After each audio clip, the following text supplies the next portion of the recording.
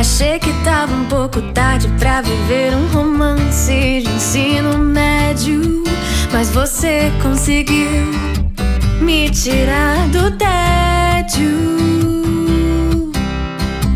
Achei que me apaixonaria por alguém do teatro.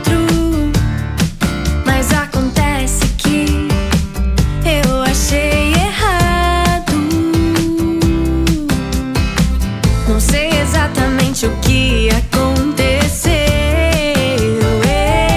Eu te conheço há sete anos, mas só agora minha mente percebeu que sempre olhei pra uma direção equivocada, mais que errada. E agora que te notei, não quero mais nada. Somos tipo Troy e Gabriela. Você é o capitão,